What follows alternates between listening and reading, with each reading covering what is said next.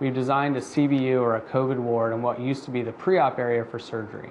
It allows the remaining medical or trauma patients to be cared for either in the ICU that is separate from this one or in the medical floors that again is separate from the COVID medical floor that we have set up. The first two patients with probable or positive COVID would come into a negative pressure room like we have here where they can be isolated from the remainder of the ward.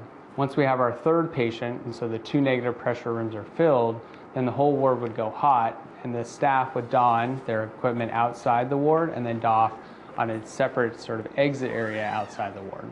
The goal of the COVID ward is to allow our different commands throughout AFRICOM, COCOM, wherever it may be, to continue their warfighting efforts.